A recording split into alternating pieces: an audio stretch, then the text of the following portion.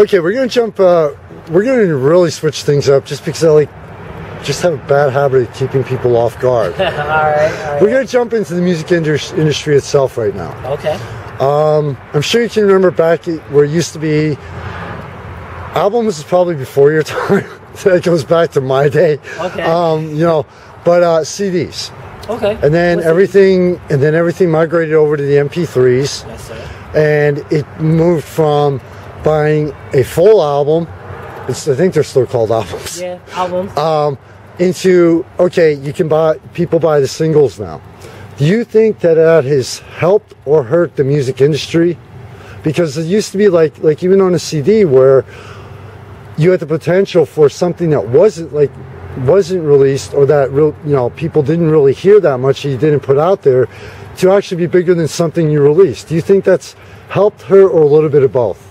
Um, Especially since you have the degree. yeah, like I feel it helped in a situation just off the strength. Like I have an album and I have three singles on iTunes actually, and let's say if a single is more of a teaser.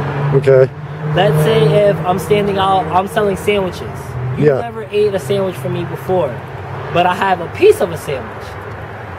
I give you a piece of that sandwich and you love it. You're like, oh my God, this is the best thing I ever had in my life. I'm gonna buy a whole sandwich from you now, and whenever I'm hungry, I'm gonna come back to you. I never thought about it that way. I, I'm not too sure pe- too many people have. That's a great analogy, honestly. But if it was singles, it's the same way. I don't know you, so why am I gonna give you fifteen dollars for an album? Or Right. why am I gonna give you ten dollars for an album?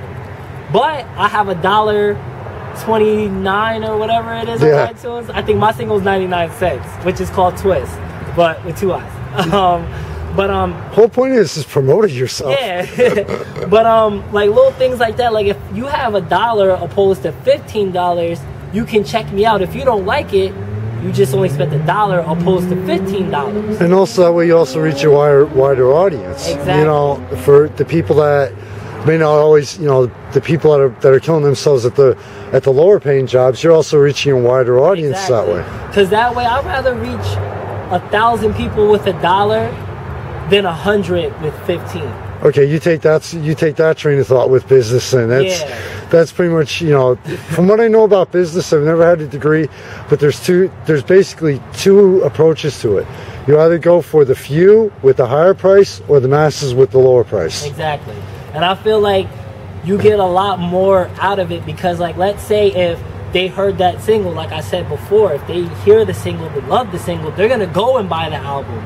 So instead of making that 15, you just made 16 Uh-huh. in a sense. So it helps the artist and it helps the buyer because they actually got a chance to be exposed to something, took that risk, they took the chance to be able to open their mind up to something different. Okay. And then when they like it, they're gonna follow you no matter what. Yeah. Cause like if you're a fan, you're gonna follow that artist. Like me, I'm a big Jay Z fan. Granted, I heard my 1st I'm Jay Z. mine's Daughtry, believe it or not. So like when I first heard Jay Z, it was for free. But then when he came out with his next CD, I bought it. Mm-hmm. So like sometimes you have to take that risk instead of selling an album for fifteen dollars. Sometimes you have to give people a free sample or you know something for free or something at a discounted price to bring them in. Yeah. Like when clubs have an opening, they have discounted things to attract people that make them want to come back. Mm-hmm. So it's the same thing with music. It's just when you bring them in, you have to make sure you impress them. A lot of people don't do that. They'll release something that's garbage, and then when they're like, "Well, why didn't they want to buy my album?" Well, because your single sucked. Yeah. or when or like when they go or like when you go see them that the stu- the studio version sounds great. But the live version sucks. Yeah. So you have to make sure every time that you're you're performing or when you're giving something to somebody, it has to be the best that it can be. So that way, they become like pretty much like addicted to it. Mm-hmm. That they need it. Like I'm hungry for that sandwich. I need to eat that every day for lunch. Thank God there's a McDonald's up the road. right.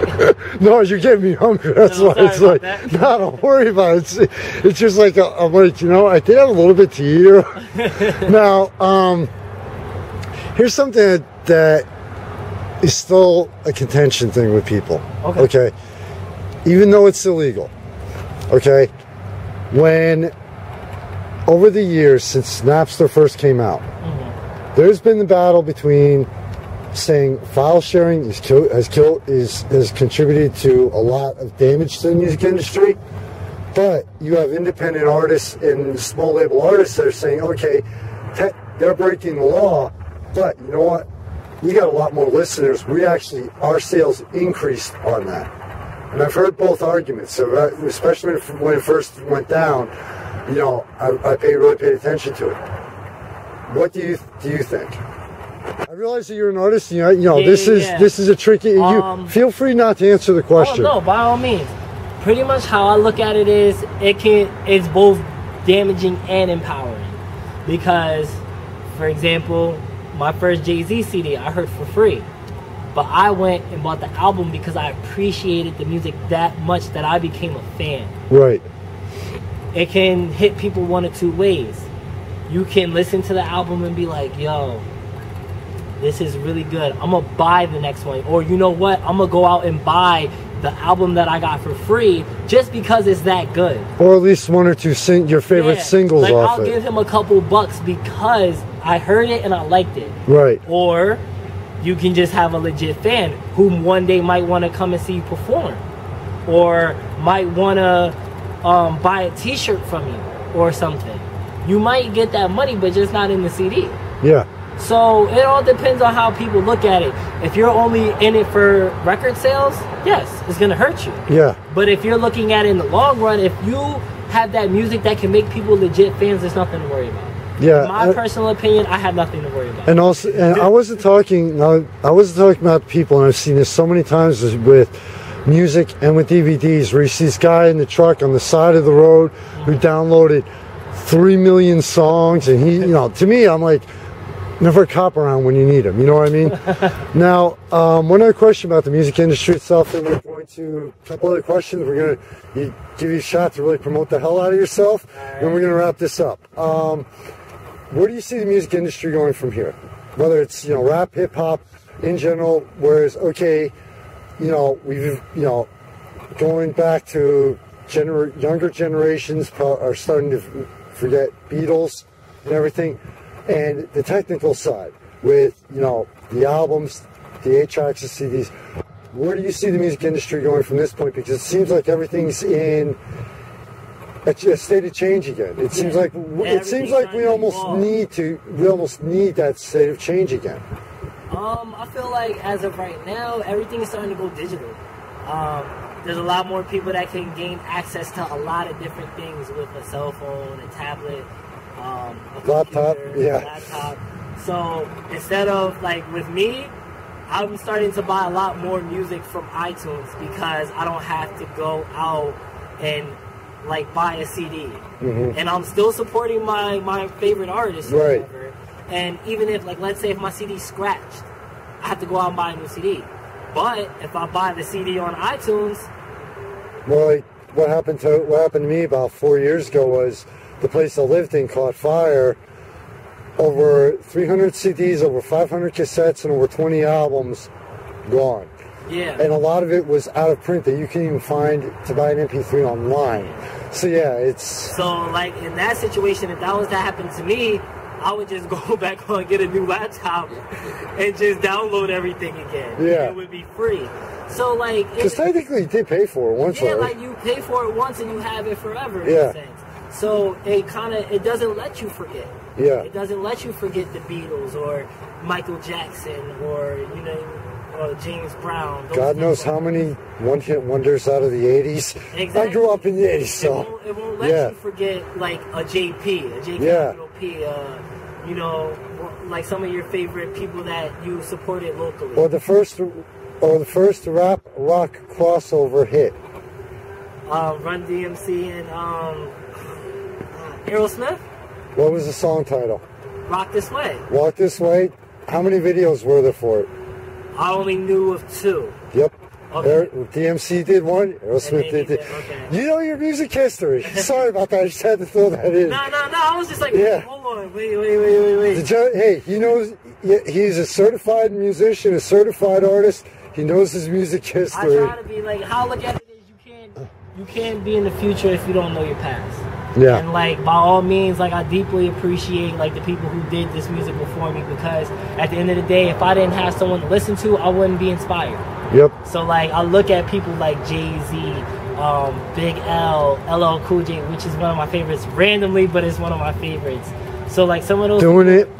you know, Oh, yeah. some of those people are just like the people who I listen to. I'm like, yo, like if I could do a song with that person, or if I could just meet that person and pick their mind, like it would make me a better. Throwing the Beastie Boys just for the hell of it. Hell, actually, I, for, I forget the song, but it's like this robot effect. It's like, yo, Uh-huh. like that song. Like I was probably like eight years old when I heard that song, but like I knew then, like that was like one of my favorite songs. Like them, Kris Kross. Like I'll be like with my little boombox, like uh, uh, uh. Oh, in the Like- clubs, jump still gets. I mean, literally, when that hits that, it's like pogo Jump, sticks. jump. Not so. Okay, fin- uh, final question. okay. Um, Advice to musicians, artists, no matter what genre, and no matter what their age is. Advice. My advice to you guys would probably be for one, never discriminate another artist just because of the genre. Like just because you're a rock artist doesn't just because you're a metal artist doesn't mean you can't collab with someone from a different genre. It's music. It's a universal language. Um, just off the strength of that, never give up on a dream. Like there's been people who like questioned me about it. Like you're in college, why are you trying to do music? And I tell them just because this is something that I'm good at. This is I, I wasn't blessed to be able to dribble a ball or to, to be like oh like uh, Albert Einstein super smart. My my craft is music. That's what I do, and I'm pretty sure anyone who does the same will be able to relate. Yeah. But on the same ticket, music is going to be something that brings the people together no matter what the situation is. If you're always going to be able to find at least one person that loves your favorite song. And you- here in the Lehigh Valley, it's like I tell people, I love the artists and the you know the actual painters. The, no, the painters and everything, the artists. Oh, okay, got you. But here in the Lehigh Valley, one of the two things that will always get people out, even in bad weather, is music. Yeah, definitely. Because this area's always been, you know, A music generated culture. yeah. Now it's time for you to promote the living hell out of yourself and go a little nuts. Okay, well, if you guys are looking for me, just Google J Capitol P. It's J, the letter J, Capitol, not not with an A, but with an O, and the letter P. And most likely, my YouTube will pop up, Instagram will pop up, Twitter will pop up. On any social network, you'll be able to find me.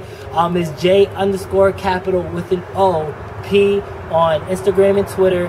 Facebook, the boy JP rapper, or Facebook.com backslash the boy JP. You can type in Trash a Track Tuesday for my freestyle series. You can look me up on iTunes for my mixtape Bundle Up 2. Um, also, my singles are on iTunes. Do My Thing. That's Thing with an A. And then I Wish, and along with my new single Twist. Um, also, pretty much we're working on my new um, EP, which is called The Twist Files. It'll be on datpiff.com. That's D-A-P, D-A-T-P-I-F-F.com. Um, and then also we're working on my next website, which will be jcapitolp.com, hopefully. So just keep in contact with me. I love talking to my supporters and people who have more questions. And we got to leave this on a cliffhanger. You're actually here. We're actually doing this at Meat Beats Yeah. Productions here Well, in Bethlehem. um, right now, I'm about Got to leave it on the cliff. Got to leave it on the cliffhanger. Definitely. So on that note, feel free, check me out, and then I might give you guys a different surprise later on. Who knows? Thank you very much for your time, and I Not a